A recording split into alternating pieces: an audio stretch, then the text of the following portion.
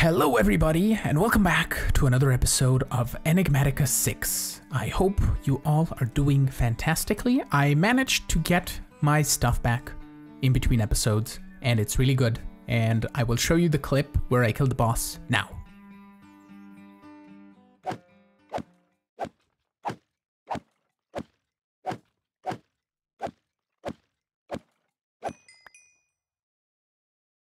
And with that kill, we managed to get ourselves Mason's Lethal Rusty brand of latent magic. And why this killed me in one shot a couple of times, it because it has instigating. That is an enchantment that deals extra damage to mobs that are at full health, or to people that are at full health, like me. That's why I died. It's also soulbound, which is really nice, and it has knockback and leech. Leech is also good because it heals me when I do damage.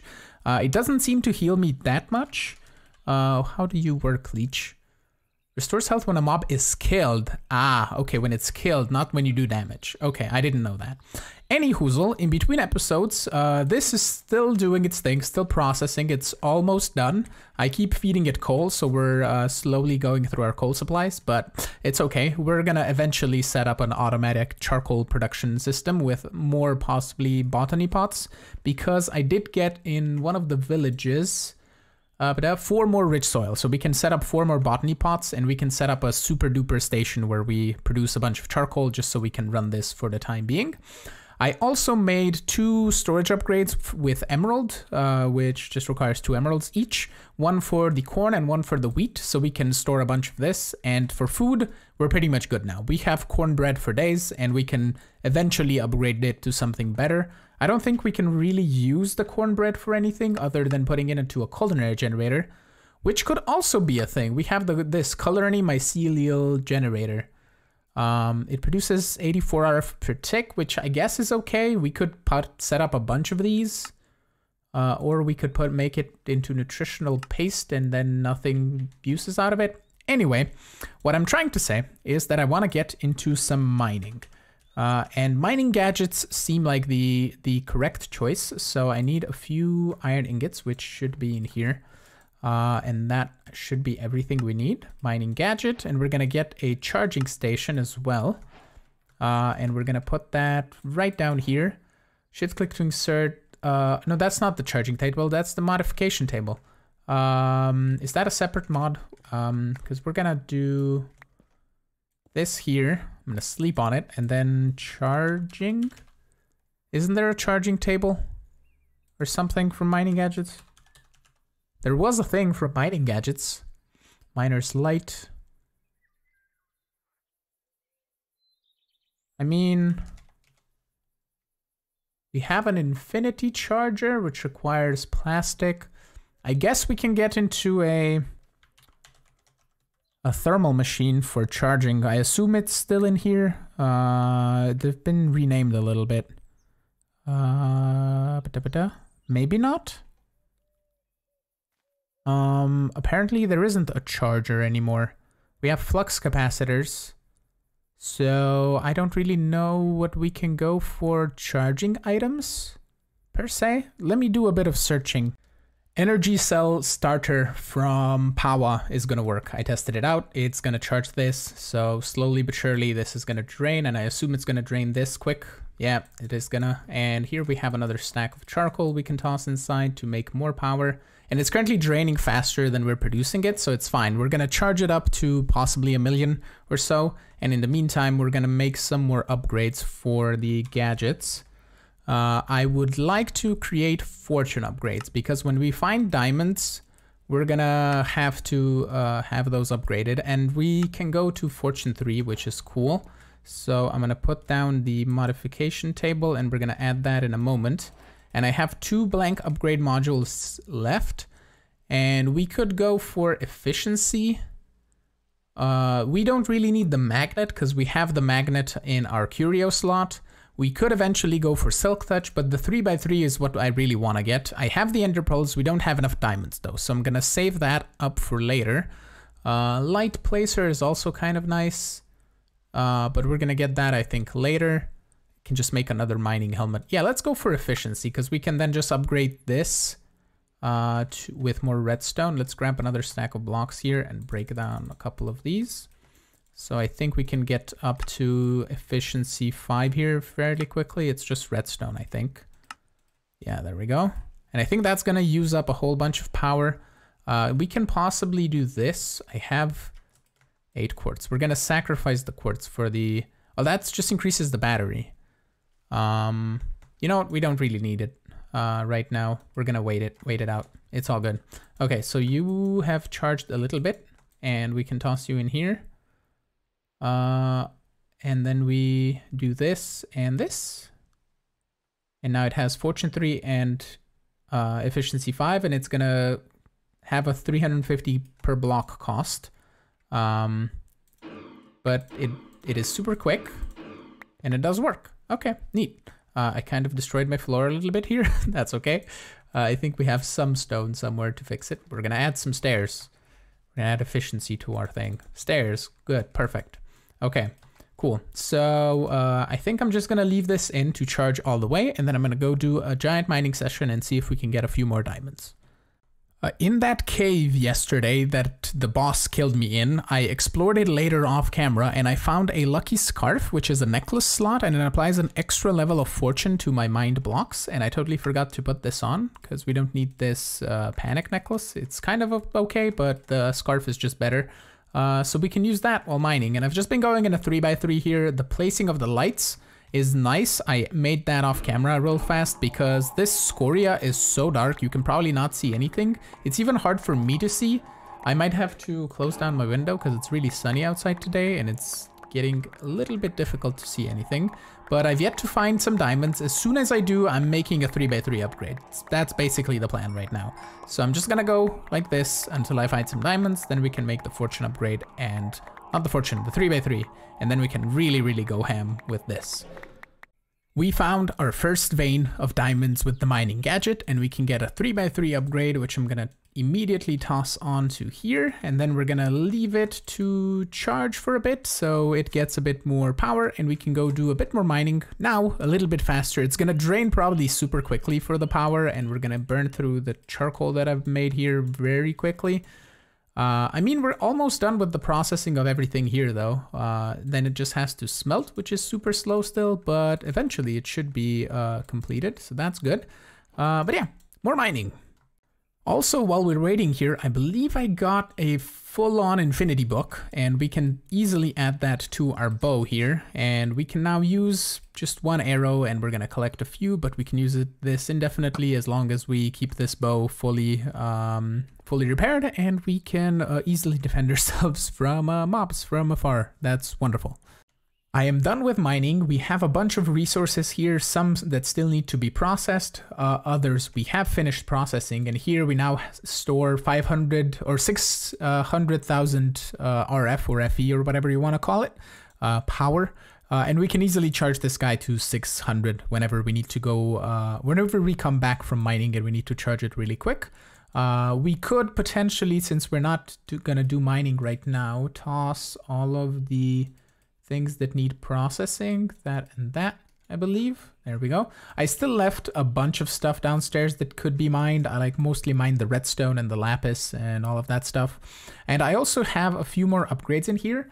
I made the range tier 3 upgrade, which uh, just costs some diamonds and some emeralds. And I also made the freezing upgrade, which freezes water and stops lava in its place. That is really cool when you hit a lava lake. You just basically, if the lava is on the bottom floor where you're walking, it's just going to put obsidian over it when you're going to go through it. And you never have a chance of falling into lava, which is wonderful. Um, so I think the next step that I want to do, since this pack is kind of made an, into an exploring pack, we can actually, first of all, collect some quest rewards, right? We can get ourselves some more food and things here. Uh, there we go. And maybe some other things. Tools. Haha. Mining gadgets. Okay, cool. We still need to make the silk touch and the battery upgrades. Those we need. Really? I didn't check quests. Now we have an extra light upgrade. I made that off camera, I think. Yeah. Um, and I mean, Bye. Uh, okay, we got... Ooh. What is this? Lapis lazuli chunks. Okay. And we got diamond chunks, aluminum chunk, silver chunk, tin chunk, gold chunk. Can I... How does one turn this into other things? Oh, you can smelt it into one. You can pulverize it into 12. Okay, cool. Uh, what about these diamond chunks? How much do you pulverize into? Two diamonds. Okay, that's neat. Uh, so that's gonna do its thing and process, and I don't think it's gonna get smelted up. At least I hope it doesn't. Uh, can you do anything with... Oh, I think we might be able to smelt diamonds. No, we can enrich them. Okay, there's no smelting recipe. Cool. Um, if the redstone or the, or the lapis gets smelted, it's perfectly fine. Uh, I also moved around... Ooh, efficiency 5, pedestal area. Modifies the area, of pedestal's work area. Okay, um, Neato. Uh, I'm gonna keep my enchanted books in here, I think. Okay. Uh, so before I got rudely distracted by um, by quests, uh, we are gonna go explore the end next. So I'm gonna go into the seed. I'm gonna find the stronghold, and we're gonna just put a marker down on the map and we can then go find it and explore it and we, maybe we can even get more of these because there's loot chests in there so i'm gonna prepare some stuff we have the food we just need a few torches and then we should be good to go i just opened up my magnet backpack and we have a whole more set of chunks here so that's going to be a huge help there's going to be a lot of diamonds a lot of emeralds as well that is gonna be cool because this probably will crush into two emeralds. Yeah, that's gonna be like over 100 emeralds. Probably. Yeah, no, 90-ish, over 90. Anyway, let's go explore the end.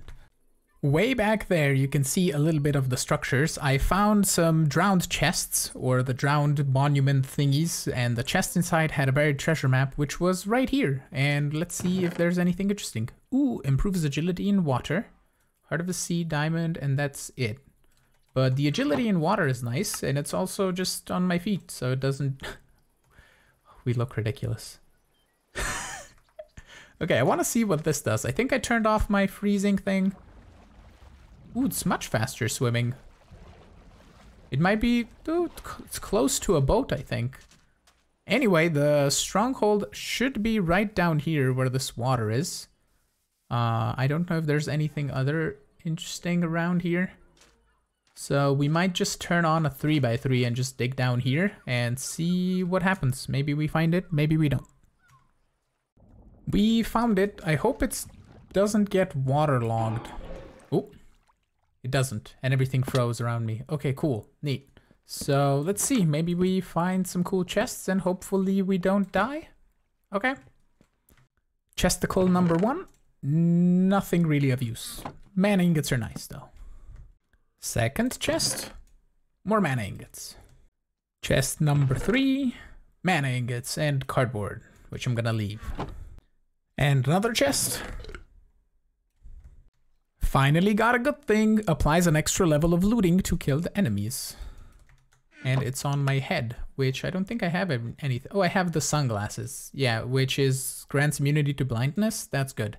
I rather want to be a leprechaun. That That's cooler. Okay.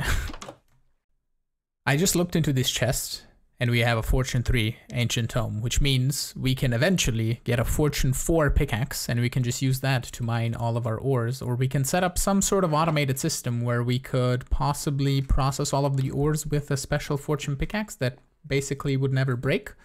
Uh, so while I'm recording here, let's loot this chest in this corner as well. Piercing 4 and fire protection, protection, weeding, and sharpness, mana boost, pedestal speed. Okay, not bad. I also made an iron axe just so I can vein mine all of these because it takes forever with the mining gadget to do them. So uh, there we go. I have found the portal. We're gonna put a waypoint somewhere here and I think, we can now try. I actually pulverized some wood and that gets you this sawdust, I believe, this guy. Yeah, you just pulverize a log. And can we pick up spawners? Ooh, we can. Nice. Okay, so I have uh, three more for future spawners and we can make more once we get to, uh, once we get back home again. Uh, so that's cool. Uh, we are gonna, oh, right. I totally didn't think that we were gonna need ender pearls. Right. Um, I did get a waystone while I was exploring. So we could potentially just put this guy right here and name it End Portal. And then activate it. And I don't think I have any other waystones. I think you can craft these, right? Waystone? Yeah, it's a warp stone, so it's ender pearls, purple dye, and emeralds for that. And then just some obsidian and some stone bricks. Uh, okay, that's neat. Okay, that's another thing. It doesn't matter. Anyway, uh, we have Waystone here now, and we can easily teleport back once we get another one. And it's basically gonna be me trying to go hunt Enderman, possibly at night, or maybe we can go uh, into the nether. Now that we have a bow that we can defend ourselves from ghasts, we could potentially um, try and get Enderman in the warped forest, I believe. Uh, so uh, maybe we'll go do that in a bit. I found the second library and we have a Smite 5 Ancient Tome, Loyalty 3, Air Affinity. Removes the mining speed penalty when not underground. Ooh, that's cool. Okay, Punch 2, Sweeping Edge 3. Okay, not bad, not bad. Uh, let's go check the top one. Is there a top? There is no top one. Okay, so this is it for the, the library. It's a smaller one. Okay, now I have to precariously get out and not die to skeletons. I went back home and I sorted all of my items out of my backpacks and we got an Unbreaking 2 and Quick Draw bow, I assume from a skeleton somewhere. So we're gonna add that to our regular bow, which is really cool. And I moved all of the crates so they're in the wall now and you can see we have everything pretty much sorted out like so and I'm currently still processing all of that. It processed all of the chunks though of the lapis, the redstone, and the diamond and the gold and the emerald. So we have uh, two stacks and a bit of emerald, which actually brings me to another thing that I remembered. We can make the next one of these. I could have shift clicked that, that's fine. This plus this. Huzzah, dank 4, and now it can store 16,000 items. Cool, and it has possibly, if we go to bag mode, another another layer of slots.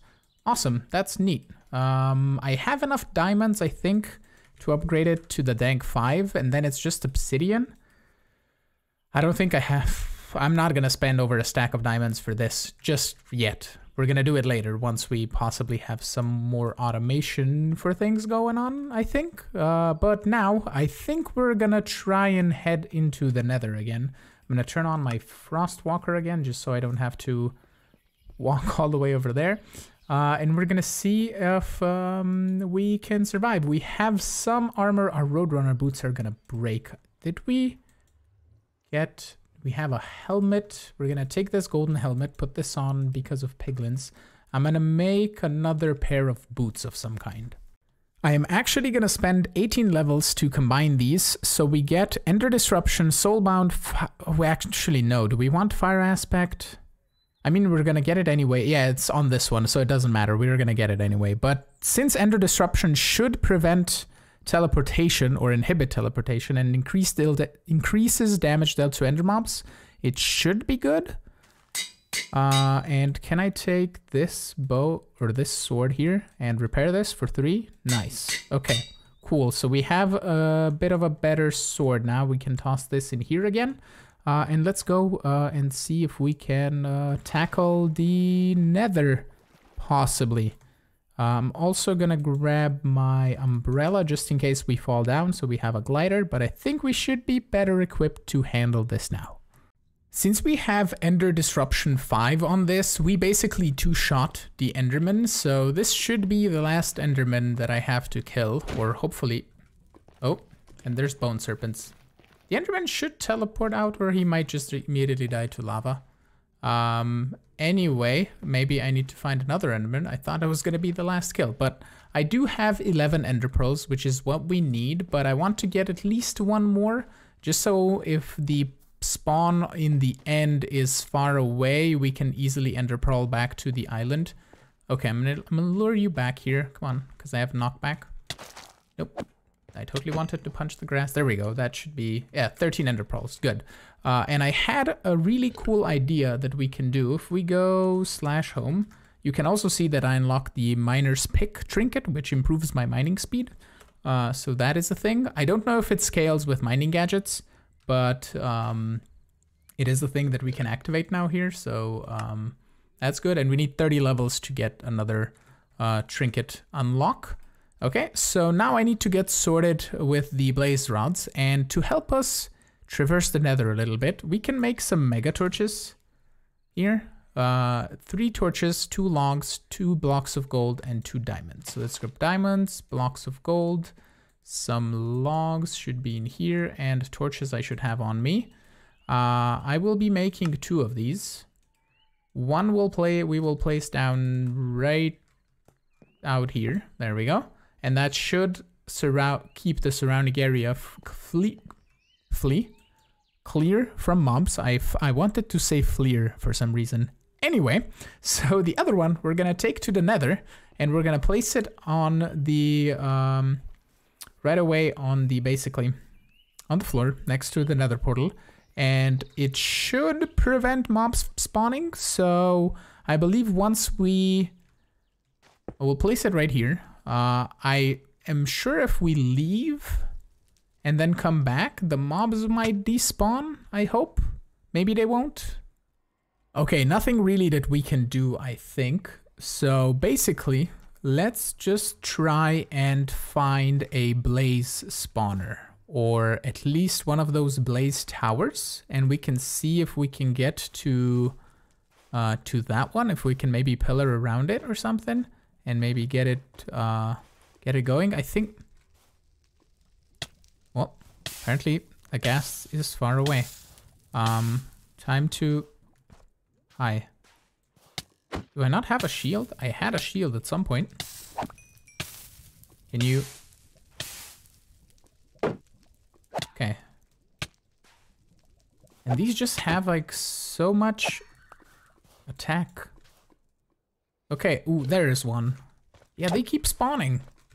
I put a mega torch down. Maybe it doesn't work in the nether? Something? Ooh. Yep, ghasts still spawn. It's like I did nothing. Ooh, this guy's gonna knock me back. Right. So the plan is to get to there. There's blaze in there. So maybe I can get like a um a little bit of a box here. Like three tall possibly. Maybe this big. And we can hide from ghasts, right? Possibly not wraiths. And I believe there is a blaze spawner underneath that block, and there's also a chest in there somewhere. So what we're gonna try and do is if see if we can cover ourselves up. So we are protected by ghasts, and then I'm gonna try and see if I can pillar over to there without being knocked off by blazes. I'm gonna try and make myself walls all around here. Yeah, can you go away, please? Okay, I think I knocked it over. Okay, let's see if we can do it. Oh, I didn't mind the obsidian. Hold on. There we go. Boom. Boom. Loot. And slash home. We got it. Okay, cool. So we can now actually set it up and farm some blaze rods super quickly. I actually think we have done plenty for today's episode, so we're gonna come back next time and we're gonna set up that blaze spawner and get it into a manual grinder which will allow me to level up and unlock more of the trinket slots. Plus, we're also gonna get levels for enchanting. Now that we have all of the books that we got from the stronghold, we can easily set up an enchanting table or an enchantment setup and we can enchant some gear so it's not gonna break super quickly and we can possibly even get into some diamond gear maybe, or maybe some other mod armor, but possibly diamond gear for the beginning, and we can eventually turn it into netherite gear as well. So, I want to thank you all so much for watching. I'm hoping you enjoyed today's episode. If you did, make sure to hit the like button. You can also subscribe to get notified of when new videos go live. And you can also support me on Patreon as well if you want to play with me right here on this server. And I will see you all in the next episode. Have a good one. Bye bye.